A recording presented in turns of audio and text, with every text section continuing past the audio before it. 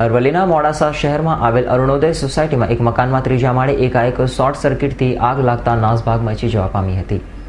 મોડાસા શહેરમાં ભીડભાડવાળા વિસ્તારમાં આવેલ અરુણોદય સોસાયટીમાં ભરતકુમાર મંગલલાલ શાહના મકાનમાં ત્રીજા માળ ઉપર મકાન માલિકના જણાવ્યા અનુસાર શોર્ટ સર્કિટના કારણે આગ લાગી હતી, જેમાં ઘરમાં રહેલ જૂનો કાટમાળ બળીને ખાખ થઈ ગયો હતો.